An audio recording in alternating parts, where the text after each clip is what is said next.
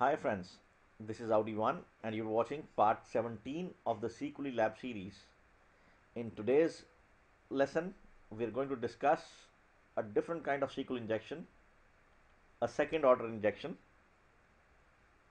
Well, some of you might not be familiar with uh, second order injections because the injections that we have done so far are first order injections giving some background on the second order injections or how do we classify the SQL injections.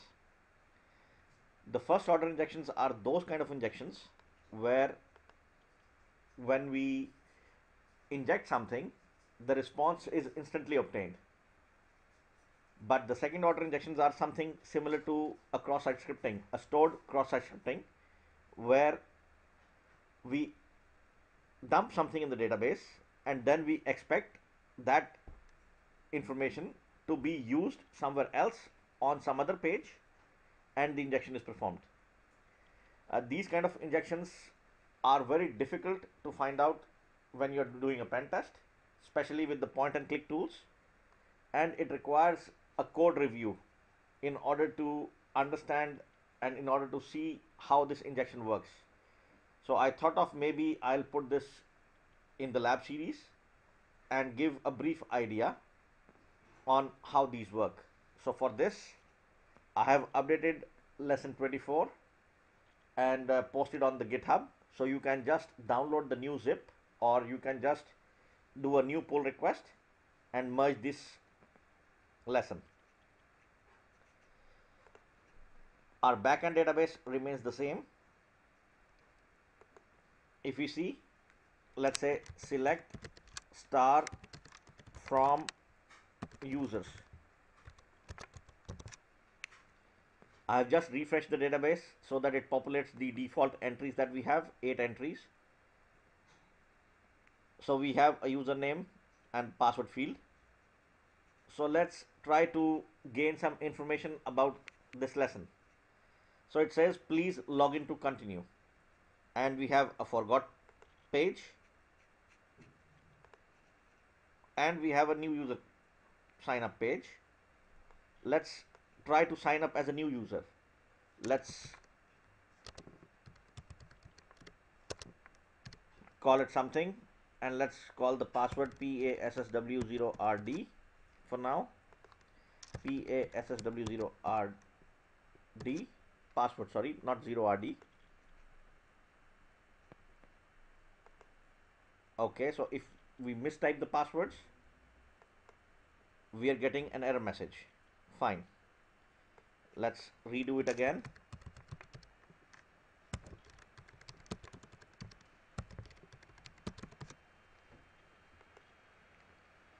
So user successfully created and it's redirecting you back.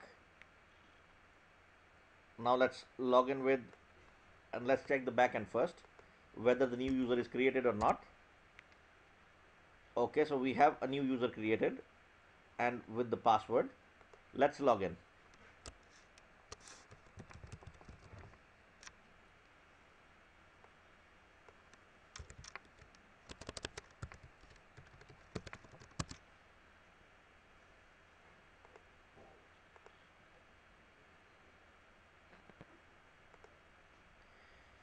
So it says welcome dump. You are logged in as the username and you can change your password here. So imagine this as a kind of a password reset page or something. Well discussing the second order injections or trying to explain the second order injections I thought what could be the example that I could use. So I came up with a very simplistic idea of changing let's say another user's password. For example administrator is the default uh, admin on this site let's take this as an example. So a SQL injection, we inject something in the database. It does not respond with any output, but what we inject stores in the database. And then that input that we have done is being used on the website, on some other page, and the injection happens. Sounds confusing, or maybe I'm not able to explain that in the words. So let's try to follow an example. Let's log out from here. So we see that we have a basic website. Let's also test the password reset page. Login as the user.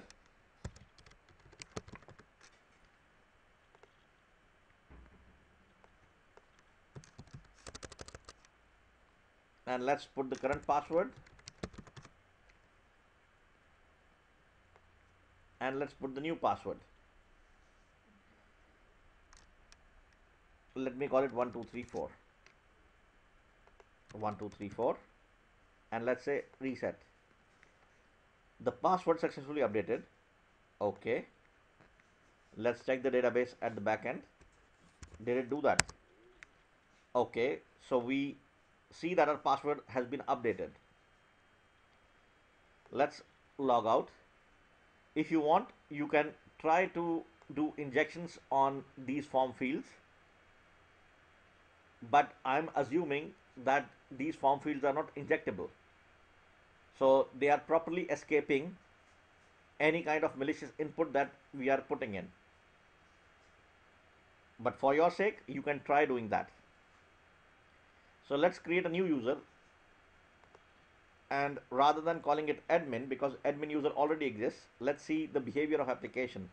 And let's call it 1234 and the password is 1234 it says the username already exists. Please choose a different username. Okay. So once there is a user with a specific username we cannot duplicate it as per the behavior of the application. So let's try to inject something. And let's put the password as 1234 for now. 1234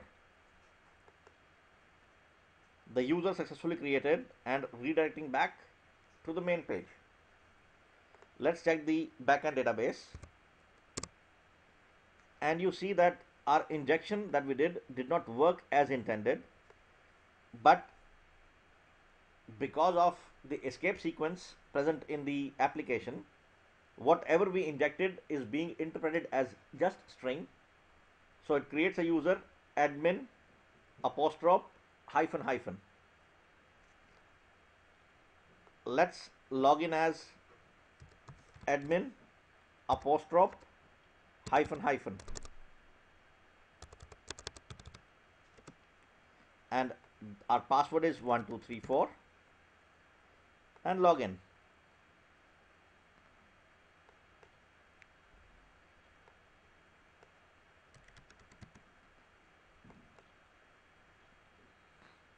So we are logged in as admin apostrophe hyphen hyphen.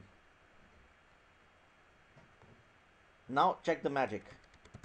1, 2, 3, 4 and let's change the password to ASDF. ASDF. ASDF. And just have a quick view of the database. We have an admin user and we have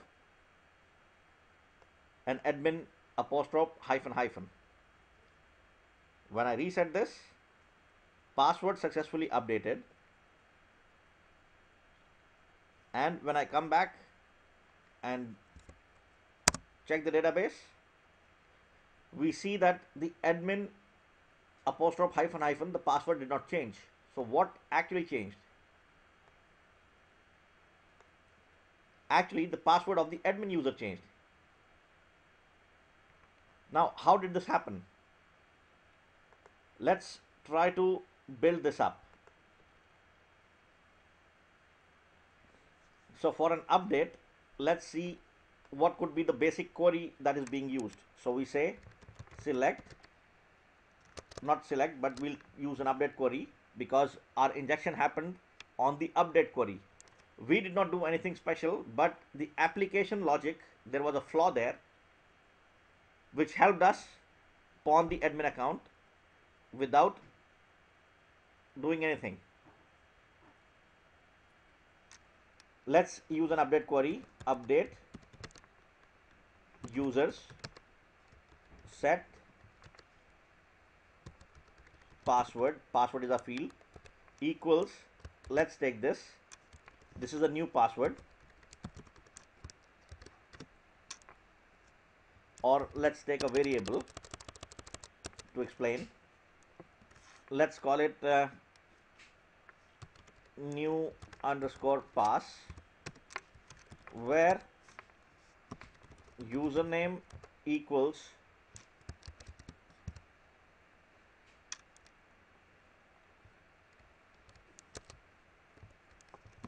user and password equals let's call it old password.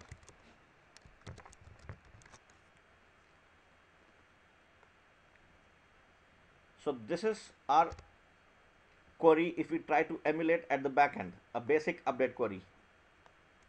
Let's copy it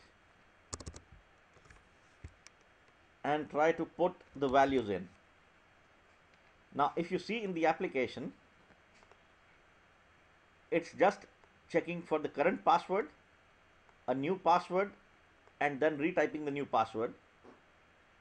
So I'm assuming that when it's updating the password the application is taking the reference of the logged in user from somewhere from the database itself from the database we have admin apostrophe hyphen hyphen. So let's replace it here.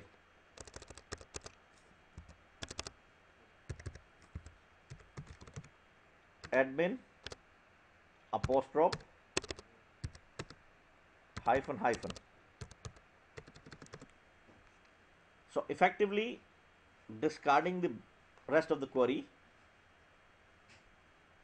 it becomes update users set password to new password where username becomes the original user apostrophe comes into picture hyphen hyphen. Some of you might be saying wow. But why this problem is there? Well the problem is related to that the developer of the application is treating the input that he is receiving from the database as trusted. So he is trying to do all kind of validations and all kind of checks on the input that he is receiving from an end user from the application's input fields. But he failed to check that he should also try to encode or try to escape anything that he retrieves from the database so he's just trusting that his initial controls that he placed he escaped the MySQL injection things by using the MySQL escape string. So he believes that whatever he's is being put to the database is good. For that part of the application, it was good because there is no SQL injection on the any input fields.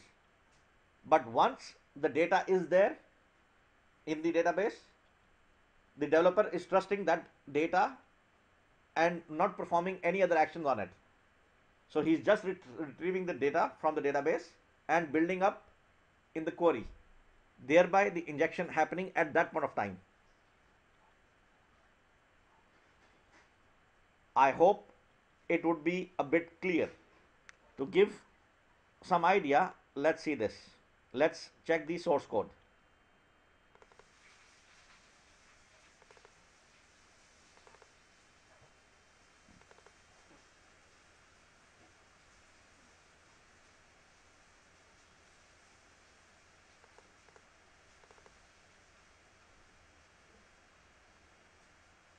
So it says if the user submits, then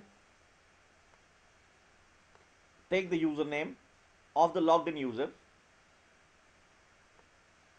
that is from the session and then use MySQL escape string on the inputs that the user is doing. So he does on the current password, on the new password and on the retype password and then he is using he's comparing if the if the password the new password and the retype password is equal then just do update users and set password equals to the new password where username is the username and password is the current password. So effectively causing a second order SQL injection. Thereby for developers it is always advisable that always check all the input fields. That's a good practice. But also escape or encode anything that you receive back from the database. Just using that information directly to build up a query can be dangerous. I hope you like this one. Please leave your valuable feedback on the feedback section. Thank you very much. Bye for now